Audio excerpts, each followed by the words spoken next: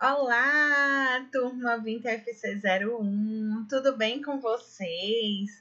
E aí, hoje a gente vai estar tá dando início ao módulo né, de, de profissão de cuidador, que entra nessa parte da, da, do cuidador, né, da profissão de cuidador realmente.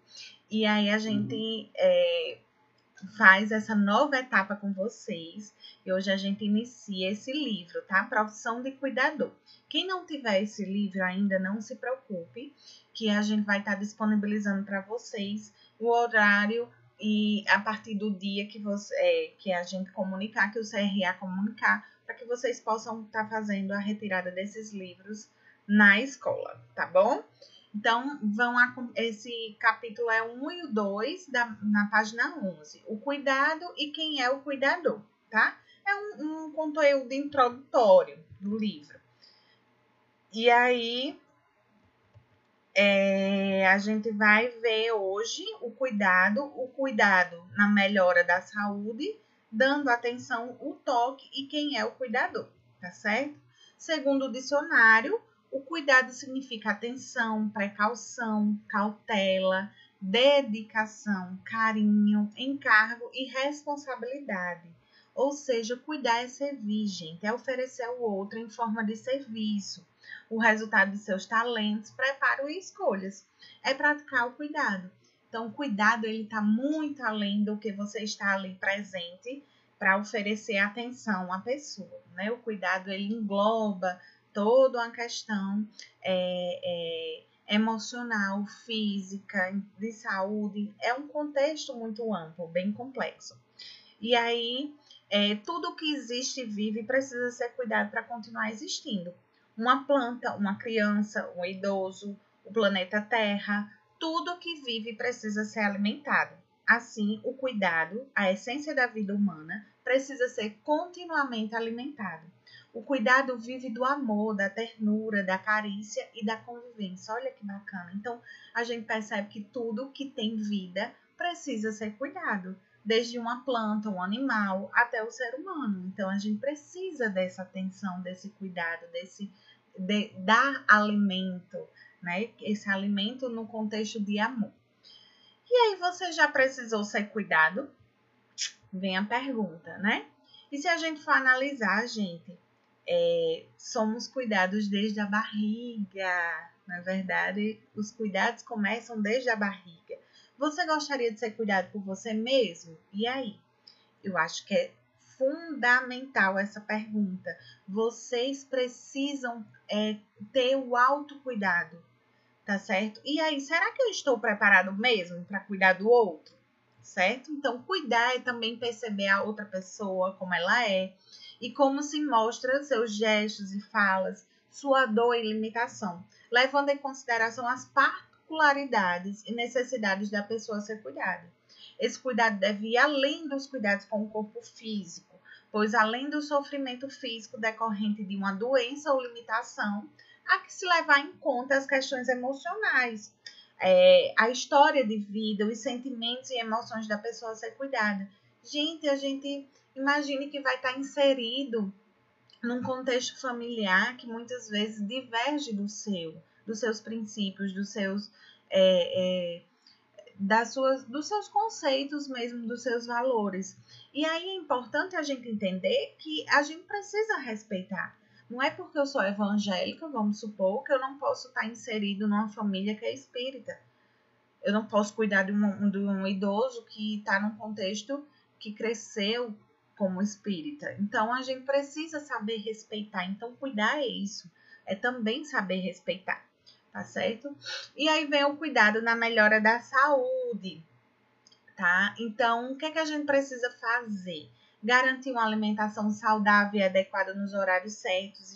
Isso é extremamente importante a gente montar uma rotina que vocês vão ter aula comigo sobre isso, para garantir uma alimentação saudável e adequada né? Ajudar na higiene pessoal. Gente, ajudar não é fazer por ela, só se ela tiver muitas limitações. Então, se eu sei que ela tem condições de passar um sabonete dela, deixa ela passar, não tira essa autonomia. Mas eu estou ali auxiliando, observando. Promover atividades de lazer. Vixe, eu sou cuidador, eu vou ter que fazer isso. Eu vou ter que promover lazer para o meu, meu paciente? Vai sim. Estimular exercícios e caminhadas, tá? Muitas vezes tem um fisioterapeuta, alguém que um profissional mais especialista, mas você precisa dar continuidade a esse processo. Garantir o uso correto de medicações, a gente vai ter uma aula específica disso. Acompanhar as terapias é extremamente importante para que você saiba lidar com as limitações dessa pessoa a ser cuidada. Dar atenção, e aí, dando atenção, como é que a gente precisa fazer? A gente precisa conversar com o paciente. De repente, ele tinha um hábito de ler livros, né? E você não, não, e ele perdeu a, a, essa habilidade.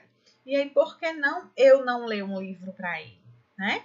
Comente sobre notícias da TV e jornais para estimular a memória, para a gente trabalhar esse processo da memória brinque com as crianças, né? Se for o caso de o paciente ser uma criança, vamos estimular a brincadeira certa na fase certa do desenvolvimento infantil dela.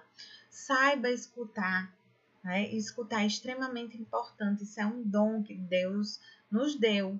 Dois ouvidos e uma boca, ouvir mais e falar menos tá certo? Isso é um processo muito importante.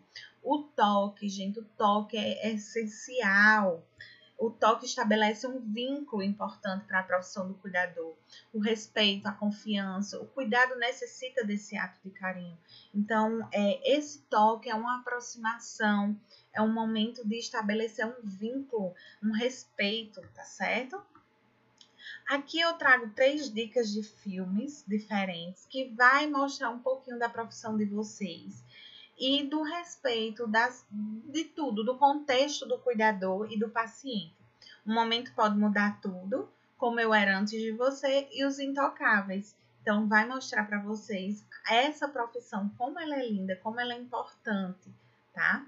É, e aí a gente entra, quem é o cuidador, né? Quem é esse cuidador? Vamos entender quem é. O cuidador é o ser humano de qualidades especiais expressa pelo forte traço de amor à humanidade, de solidariedade, de doação. É, a profissão de vocês, ela, é, ela ocupa, né? Ela tem uma classificação, ela tem um código que a gente pode estar tá colocando aí no na carteira de trabalho. Então, vocês têm uma profissão reconhecida, né? A, a ocupação de cuidador integra a classificação brasileira de ocupações, que é a CBO e o código é 5162, que define o cuidador como alguém que cuida a partir dos objetivos estabelecidos por instituições especializadas ou responsáveis diretos, zelando pelo bem-estar, saúde, alimentação, higiene pessoal, educação, cultura, recreação e lazer da pessoa assistida. Então, você pode ser um cuidador de uma instituição, tá? Ou você pode ser o um cuidador de alguma família alguma família lhe contrata ou alguma instituição lhe contrata, um home care, enfim. Olha só o que é que as atribuições aí está dizendo. Você precisa zelar pelo bem-estar, promover saúde, alimentar bem, cuidar da higiene pessoal, da educação, da cultura, recreação, lazer da pessoa, tá? Então, é uma, uma profissão que tem várias atribuições, certo? E aí, será que eu tenho paciência para estar tá, é, é, nessa profissão sem manter a calma, sem lidar com atitudes indesejadas? E aí, são questionamentos que a gente precisa estar tá, é, fazendo para que vocês entendam se realmente é a profissão que eu quero. Mas se as minhas respostas forem não, calma, a gente está num processo, né? Isso não significa que você não está apto para a profissão apenas que precisa melhorar algumas atitudes com o intuito de ser um bom profissional. Então, o que é que eu preciso melhorar para ser um excelente cuidador? O que é que eu preciso estar tá aprimorando? O que eu preciso estar tá estudando mais para que eu desenvolva esse papel né, de forma adequada? E aí a gente vê qual é a função desse cuidador. Né? O papel do cuidador ele vai ultrapassar o simples fato de acompanhar alguém, tá? É, é acompanhar e auxiliar a pessoa a se cuidar, fazendo pela pessoa somente as atividades que ela não conseguiu fazer sozinha. A gente não pode tirar a autonomia do paciente.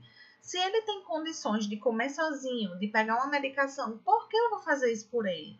Eu vou ajudar, eu vou ajudar ele, tá certo? E não fazer por ele. o cuidador não deve realizar trabalhos domésticos nem procedimentos invasivos que competem à enfermagem. Então, vocês vão ver no, no decorrer desse, desse módulo né, e desse curso de cuidador que vocês não podem estar tá fazendo alguns tipos de atribuições, que é papel da enfermagem e que vocês também não são empregados domésticos, vocês são cuidadores, então que vocês saibam diferenciar e valorizar a função de vocês, tá? E aí quais são essas tarefas que vocês vão realizar?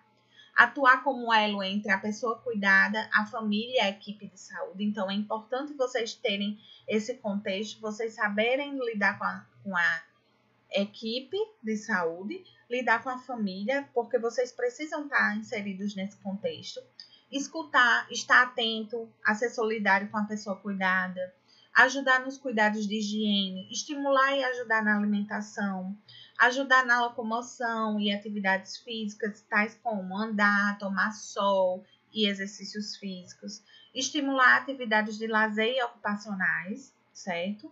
Realizar mudanças de posição na cama, que a gente chama de mudança de decúbito e na cadeira, promover massagem de conforto para que ajude na circulação e que não abra feridas, vocês vão ter um módulo específico disso, tá? Administrar as medicações conforme a prescrição e orientação, né, é, da saúde. E aí, vocês também vão ter aula disso mais na frente. Comunicar a equipe de saúde sobre mudanças no estado de saúde da pessoa cuidada acompanhar em consultas e exames a pessoa cuidada e auxiliar na fisioterapia. Então, isso é muito importante. Aqui, gente, é uma introdução de tudo que a gente vai ver nesses módulos daqui para frente, tá certo? Perfil. Qual é o perfil do cuidador? Ele tem que sempre manter-se equilibrado mentalmente. Isso é importante. Como é que eu estou em desequilíbrio? Como é que eu vou cuidar do outro, né? ter preparo físico para conseguir realizar atividades de lazer, troca de posição e auxílio no banho, saber ouvir, cuidar de sua aparência e higiene, ser educado. Isso aqui, o perfil do cuidador, tá certo?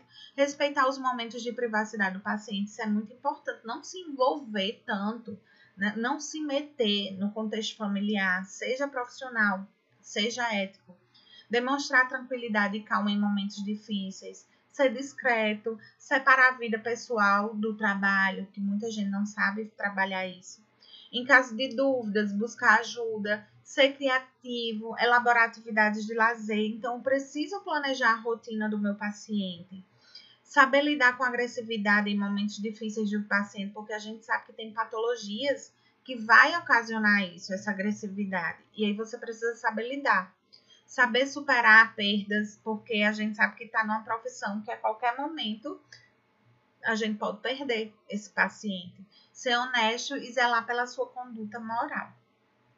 E aí precisamos entender algumas competências e habilidades. Vocês precisam ter conhecimento de adaptações ambientais, né? A questão da acessibilidade. Se é um idoso, se é um cadeirante, se tem alguma limitação. Então eu preciso ter o conhecimento, né, dessas leis, dessas legislações, para que eu saiba é, é, promover um bem-estar para esse paciente, certo?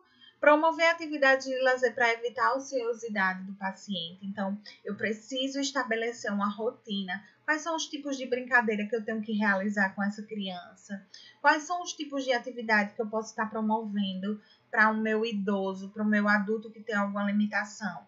É, eu preciso conhecer quais são a, as, as habilidades que existem para promover um bem-estar para o meu paciente, tá certo? Na questão do lazer. Entender sobre o problema de saúde do paciente e suas complicações e alterações. Gente, isso é extremamente importante. Como é que eu vou cuidar de alguém que tem limitação e que tem uma doença se eu não conheço essa doença? Eu preciso me aprofundar bem, mas é bem mesmo na, na, nessa doença para que eu saiba lidar com ela, para que eu saiba como é que vai funcionar, quais são as alterações que esse paciente, paciente pode ter, quais são as complicações e que eu devo estar tá evitando para que isso ocorra, tendo cuidado. Buscar atualizar sempre, isso é fundamental, tá certo? É, ter noções de primeiros socorros e dominar técnicas de movimentação do paciente, isso é muito importante. Vocês é, já viram a questão do primeiro socorros, vão ver essa questão da movimentação do paciente, de transferir um paciente de uma poltrona para uma cama, para uma cadeira de rodas. Vocês vão aprender como é que faz essa movimentação. E aí é isso, gente. É vocês é, entenderem qual é o papel de vocês, qual é o perfil de vocês, como é que vocês devem se portar. Então, isso aqui é só uma, uma breve introdução do que a gente vai se deparar nesse contexto aí da profissão de cuidador, tá certo? E como revisão e orientação da nossa atividade, eu trago algumas perguntinhas. Quais são os cuidados fundamentais que devemos ter em relação à saúde do paciente? Então, o que é que eu devo estar observando do paciente? O que é que eu devo estar promovendo ao paciente? Né? A gente falou a questão do, do da rotina, a gente falou da questão do bem-estar, da saúde, da higiene é, pessoal, da alimentação, da administração de medicamentos, né? Como deve ser o perfil do profissional do cuidador? Deve ser calmo, deve saber lidar com conflitos, não é verdade? E aí saber ouvir, é, conhecer também as limitações do paciente, não misturar o profissional com o pessoal, são algumas características. Quais são as tarefas que o cuidador deve executar em sua profissão? Quais são as tarefas? O que é que eu devo realizar? A gente falou muito, né, da questão do bem-estar do paciente. Cuidar da higiene pessoal, cuidar da alimentação, da administração dos medicamentos, promover lazer, né, uma rotina adequada, promover exercício é, para que ele saia do sedentarismo, tá certo? Então, tudo isso faz parte das tarefas do cuidador. Gente, qualquer dúvida estarei disponível no WhatsApp para tirar, tá certo? E eu espero que vocês façam a atividade, não deixe para a última hora, é, cumpram com prazo. Vocês têm sete dias e ainda vejo muita gente não realizando essas atividades. Então, eu conto com o apoio de vocês, tá certo? Próximo conteúdo online, gente, a gente vai estar tá falando é, quando o cuidador é um familiar. E aí? Quando a gente tem um cuidador que é uma pessoa da família. Vamos falar, debater um pouquinho sobre isso, combinado? E aí, seja luz na vida das pessoas, seja um girassol, tenha a sua própria luz e emane essa luz para o mundo, para o universo, para as pessoas, que você vai receber essa energia boa de volta. Um grande beijo, fiquem com Deus e até mais, até o nosso próximo conteúdo online. Tchau, tchau!